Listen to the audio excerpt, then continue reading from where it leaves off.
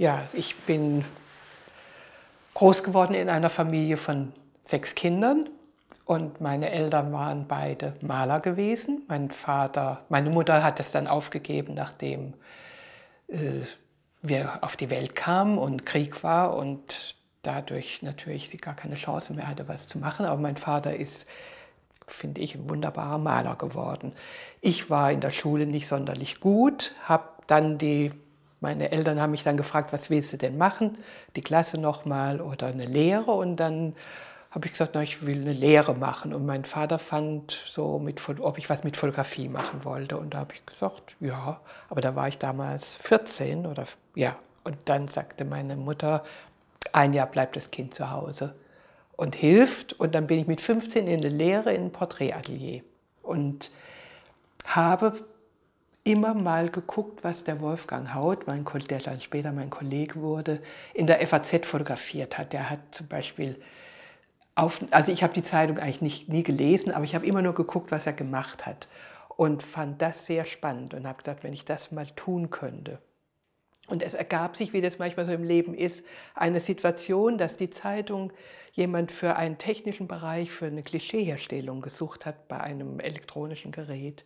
Und die Chance bekam ich und kam zur Zeitung erstmal nur, um die Technik zu machen und habe dann aber nebenher immer äh, dem Wolfgang Haut geholfen in der Dunkelkammer und ich habe seine Sachen archiviert und habe mit dem, also habe viel Material von ihm auch gesehen und habe dadurch eigentlich auch beobachtet und gelernt, wie er mit den Dingen umgegangen ist, wenn er rausging und Architekturfotografie zum Beispiel machen musste.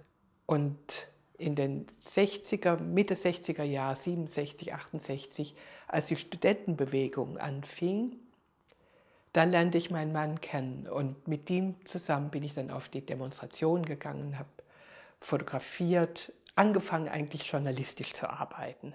Hatte den Apparat dabei, immer in den Zeiten, wo ich das machen konnte. Und das war zum Teil sehr aufregend und da habe ich aber das Erste gelernt, was ich für mich in meinem Beruf später, was mir sehr zunutze kam. Also ich habe festgestellt, wenn ich zu involviert war mit den Studenten zusammen und dass mir hinterher die Bilder fehlten. Also ich habe die Sachen im Kopf gehabt, gesehen, habe es aber nicht umgesetzt. Also ich war zu sehr engagiert mit all den Dingen, die da passiert und zu aufgeregt. Und da dachte ich, das kann es nicht sein. Also wenn ich wirklich gut arbeiten will, dann muss ich mich ein Stück rausnehmen. Also das war ein ganz wichtiger Prozess für mich. Und ich habe dann äh, mit diesen Bildern eigentlich angefangen, versucht beim Stern, also nicht gleich beim Stern, aber bei der Zeit, bei Christ und Welt, also bei diesen Tag, äh, Wochenzeitungen äh, meine Bilder sozusagen loszuwerden, zu verkaufen. Und das war am Anfang ganz schwierig, kam meistens alles wieder zurück und irgendwann funktionierte es. Und da war ich doch schon so frei arbeitend, ganz gut vertreten in verschiedenen anderen Zeitungen. Und ich glaube, dass das auch für die FAZ äh, damals wichtig war, dass ich woanders gedruckt wurde. In der Zeitung selber habe ich natürlich auch immer mal wieder Bilder untergebracht, aber doch nicht, man, ob ich da einen Vertrag haben sollte oder nicht. Das war, wäre, glaube ich, ohne diese Arbeit von außen, die ich da, wo ich publiziert wurde, nicht so leicht gewesen. Und nach zehn Jahren, nach zehn Jahren Klischeeherstellung, habe ich dann dem Verlag gesagt, also jetzt will ich nur noch fotografieren, will einen Fotografenvertrag. Und den bekam ich dann. Und dann haben sie mich als erstes nach Polen geschickt, 1970. Es war eigentlich der Aufhänger und das Wichtige waren die Verhandlungen mit Außenminister Scheel und mit dem polnischen Außenminister über die Ostverträge. Aber die Zeitung sagte, fahrt an die Oder-Neiße-Grenze und zeigt sozusagen unseren Lesern, wie sieht es da aus? Wo, um was geht es eigentlich, die Grenze zwischen der DDR und Polen? Und da kam ich mit sehr, wirklich, wirklich guten Bildern zurück.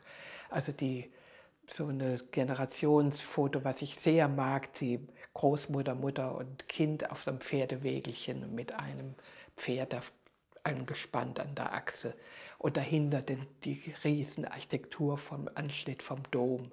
Als Brezhnev zusammen mit Willy Brandt auch über die Ostverträge verhandelt haben. Das war 1973 und da ist eben dieses berühmte Bild entstanden, wie Brandt und Brezhnev zusammen in einer Gruppe sitzen und miteinander reden und nachdenken und wie, ja, wie man vielleicht den Kalten Krieg etwas abbauen kann. Und für mich war es so Neuland, dass ich nicht gewusst habe, dass man, um überhaupt fotografieren zu können, eine Poolkarte braucht. Und die hatte ich natürlich zu dem Treffen von Brandt und Brechnev nicht. Das war ein ganz, das, krieg, das war ein ganz kleiner Pool und ich habe es trotzdem geschafft, da reinzukommen. Wahrscheinlich denke ich, weil ich eine Frau war und so und auch vollkommen äh, naiv damals noch gedacht habe, das funktioniert schon irgendwie und ich war drin. Und so war das eine Möglichkeit, also eine Situation zu bekommen, die das im politischen Geschehen ganz selten möglich ist. dass wir so fast vergessen wurden, dass da außer den Leuten, die damit zu tun hatten, noch Fotografen da waren. Es gab auch kein Kamerateam dabei. Also es waren nur zwei russische Fotografen, einer vom Bundespresseamt und einer von DPA und ich. Und das war eben etwas, wo ich glaube schon durch diese Studentenbewegung gelernt habe, mich zu, also ganz ruhig zu bleiben und zurückzunehmen und nur zu beobachten und mich nicht verrückt machen zu lassen. Was natürlich ganz wunderbar war, das muss ich schon sagen, war die Chance, dass ich für die FAZ gearbeitet habe. Die Frankfurter Allgemeine war wirklich ein, da das größte Blatt und war überall anerkannt. Und das hat einem schon Türen geöffnet. Als Kohl dann zum Kanzler gewählt wurde, habe ich die Chance bekommen, eben da zu fotografieren. Aber damals war noch einer von, ein Kollege von Newsweek dabei. Und das hat mich sehr irritiert. Also ich konnte dann nicht so arbeiten, wie ich das sonst machen würde. Und der Kohl hat das beobachtet wohl und hat mich dann noch mal da behalten und hat dann zu mir gesagt, wie wollen Sie es denn jetzt haben, nachdem der Kollege dann verabschiedet wurde. Und dann habe ich ihn gebeten, sich zu, an seinen Schreibtisch zu setzen und zu, nichts anderes zu machen, als er das sonst auch tut. Danach guckte ich mir die Bilder an und habe festgestellt, denen fehlt irgendwas. Also es war ein langweiliges Bild, leider von Kohl geworden. Es hat nichts gehabt. Also die Anhänger haben gesagt, es ist ja äh, wirklich schlechtes Bild vom Kohl und die, die ihn nicht mochten, haben gesagt, das ist ja, du hast ja ein unglaublich tolles Bild vom Kohl gemacht. Also ich habe für mich gemerkt, irgendwas hat da nicht gestimmt. Und habe überhaupt festgestellt, dass man Politiker eigentlich immer nur in Aktion fotografieren kann, wenn sie sich sozusagen verkaufen müssen. Also wenn sie Reden halten müssen oder wenn sie äh, Wahlveranstaltungen machen oder diskutieren und den, bei den Parteitagen, dann wurde der Wunsch geäußert, zum 65. Geburtstag sollte ich den Bundeskanzler noch mal porträtieren. Und da habe ich darum gebeten, dass sie mich dass die Zeitung es versucht zu ermöglichen, dass ich in die kleine Lage morgens um 9 Uhr, glaube ich, war das, in Bonn dabei sein darf, wenn der Bundeskanzler sich mit den engsten Mitarbeitern bespricht, was so am Tag anliegt und was zu machen ist. Und das hat die Zeitung geschafft. Und da habe ich aber gewusst, dass der Kanzler Kohl nie sonderlich angenehm oder es den Fotografen leicht gemacht hat zu arbeiten. Und ich dachte mir, ich muss etwas mitnehmen, was, was in mir wohlgesonnen macht. Und habe zwei Bilder ihm mitgebracht, was ich sonst nie tat. Und zwar ein Bild, wo ich ihm sagte, ich hätte ihm den Anfang und den Höhepunkt seiner Karriere mitgebracht. Der Anfang war das Bild, als der Kanzler Schmidt ihn gratuliert hat, als er das Misstrauensvotum gewonnen hatte. Und das zweite Bild war der 3. Oktober, wo alle Politiker vor dem Reichstag stehen, weil, wo ich ein unglaubliches Bild machen konnte, obwohl die Massen uns fast erdrückt hätten, die von hinten geschoben haben.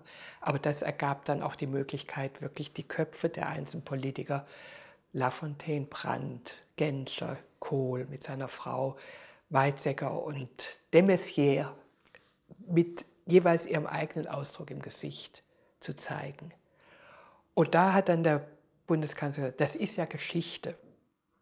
Und wie wollen Sie es haben? Und das war das, der Moment, auf den ich gewartet habe, dass er fragte mich, wie ich es haben möchte.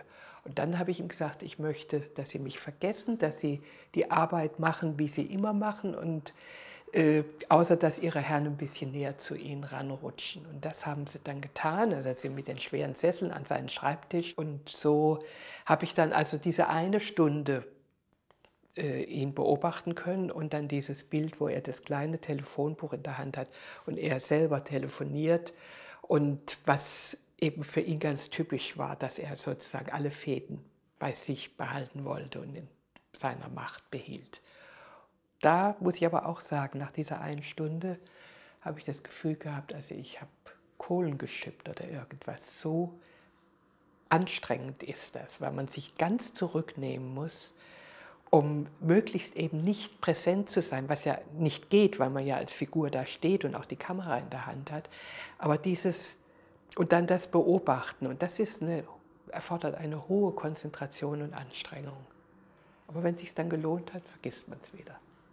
Also wenn man für eine Zeitung arbeitet, hat es ja oft, hat, kriegt man dann den Auftrag, Dinge ja, zu machen und wird irgendwo hingeschickt. Beziehungsweise es gab sehr viele Dinge, die ich auch selber machen wollte, zum Beispiel nach Muttlangen war mir klar, das gibt so eine wichtige Demonstration gegen die Belagerung der Raketenstationierung bei, auf dem amerikanischen Lager bei, in Muttlangen, äh, wo berühmte Schriftsteller und äh, wichtige Leute kamen.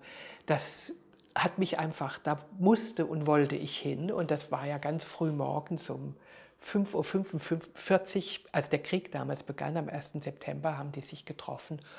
Und äh, bei all meinen Reportagen und allen Sachen, die ich gemacht habe, habe ich immer, bin ich ohne Blitz zurechtgekommen. Und da hatte ich wie immer keinen dabei und sah nun Böll und Petra Kelly und den Bastian und Lafontaine äh, lagerten da am Boden, um bevor die ganzen Reden dann losgingen. Und die Rettung für mich war dann eben das ein Fernsehlicht, was mit so einer Handleuchte, als das Kamerateam kam und gefilmt hat. Es ist ein wunderbares Bild geworden, fast wie ein Gemälde. Im Hintergrund sieht man verschwommen die anderen Personen stehen und man ahnt gerade so, dass es hell wird und vorne eben die Hauptakteure. Und das Ganze ist aber auch wiederum eine Sache, die ich in der Dunkelkammer dann nacharbeiten musste. Also das Licht war so hart, dass das Gesicht von Böll sehr kalkig war und da musste ich sehr viel Licht drauf geben, um dann eine Modulation reinzubekommen. Das sind so Arbeiten, die für mich auch immer wichtig sind, die Dunkelkammerarbeit. Das ist sozusagen der zweite Schritt zu einem guten Bild. Also erstmal müssen Sie es natürlich auf dem Negativ haben, was da nicht drauf ist. Können Sie in der Dunkelkammer nicht irgendwie herzaubern. Aber Sie können die, die Stimmung, die Atmosphäre schon äh, beeinflussen, indem sie etwas härter bringen oder weicher oder indem sie was abhalten oder was nachbelichten. Also dass einfach diese Grauwerte anders gesetzt werden. Und das war bei diesem Bild sehr wichtig dass es sozusagen diese Morgenstimmung hatte und dadurch wie ein Gemälde wirkt.